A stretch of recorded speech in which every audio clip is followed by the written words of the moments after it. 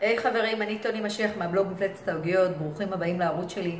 אני רוצה ללמד אתכם היום איך להכין סופגניות מאוד טעימות וקלות להכנה. הסופגניות האלה נקראות בניה. הן במקור מגיעות אלינו מניו אורלינס, סופגניות מרובעות או מלבניות, תבחרו איזה צורה שאתם אוהבים. במקור מכינים אותם ככה מאוד שמנמנות, עם כיס סביר בפנים. כן, ככה אתם יודעים שהכנתם את הסופגניה נכון. אנחנו מטפיחים אותה פעם אחת, מרדדים, מרדדים יחסית עבה, זאת אומרת סנטימטר, סנטימטר וחצי, אם אתם רוצים שישאר לכם מה לאכול. חותכים לצורה הרצויה ומטגנים. כאשר אנחנו מטגנים, נפתח כיס אוויר בפנים. אז ככה שאם רידדתם מספיק עבה, יישאר לכם אה, בצק אה, לאכול, זאת אומרת סופגניה לאכול. אם לא, יהיה לכם שוליים מאוד דקים ואוויר בפנים. תזכרו מה אמרתי. הן מאוד טעימות, קלות להכנה. רוב המתיקות של הסופגניות האלה מתקבלת מאבקת הסוכר שמפזרים למעלה, כי הבצק עצמו מכיל מעט מאוד סוכר. זהו, מה צריך יותר מזה? פשוט, קל, טעים.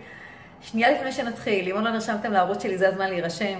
תלחצו על ההרשמה ועל הפעמון, כך תוכלו לקבל את כל מה שאני מעלה ראשונים. תכתבו לי בתגובות מה אתם חושבים, בואו נתחיל.